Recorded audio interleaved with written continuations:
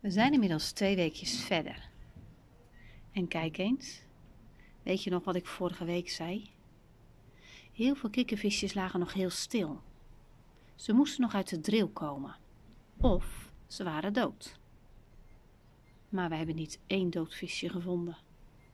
Alle kikkervisjes zwemmen nu in het rond. En als je goed kijkt, zie je dat de kopjes veel groter zijn geworden.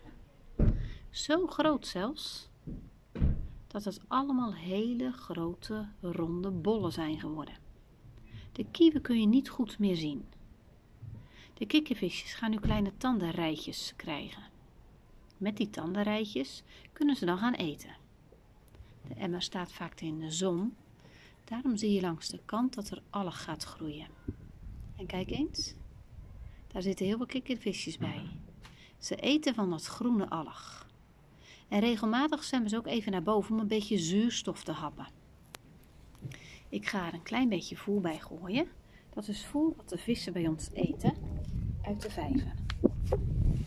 Dit voer lusten de kikkervisjes ook. Komt ie hoor.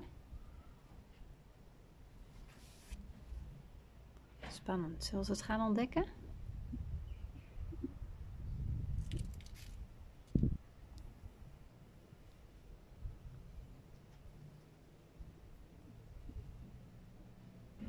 Zie de eerste er al langs zwemmen. Ik zie er al eentje aan hangen. Pjoep, en hij is weer weg.